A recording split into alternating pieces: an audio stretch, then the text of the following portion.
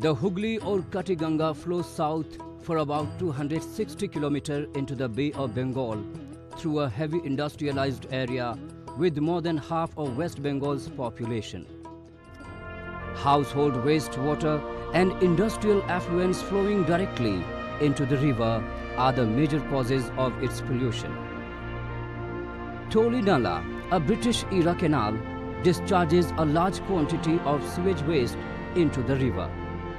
Under the pollution abatement and rehabilitation works, three sewage treatment plants will be set up with funds from the Namami Gange to stop the flow of sewage from Toli Nala into the Hooghly.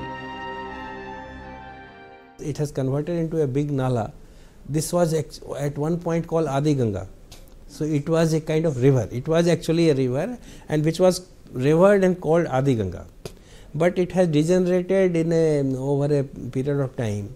We have some problem in that project. It's it's very good project. 26 MLD STP we want to construct and then intercept this nala, this sewage to that STP and clean it up and uh, we, we have sanctioned the project and the state is uh, calling for tender. There are certain issues of uh, encroachment and people settling along that nala. So, I think uh, all those things are being taken care of by the state and local authorities, KMDA and then we will be able to ground this project. A few kilometers from Kolkata is Barrackpore, the site of the first cantonment of British East India Company. Located on the banks of Hooghly, Barrackpore is now a densely populated city. It lacks sewage treatment plants and consequently its wastewater flows directly into the river. Under the Namami Gange program, work on 150 kilometer long sewage network is going on at a rapid pace. It will connect over 35,000 households. The city's household wastewater will be diverted to sewage treatment plants with capacities of 18 MLD and 6 MLD, which are under construction. The sewage treatment plants are expected to be operational by early 2020.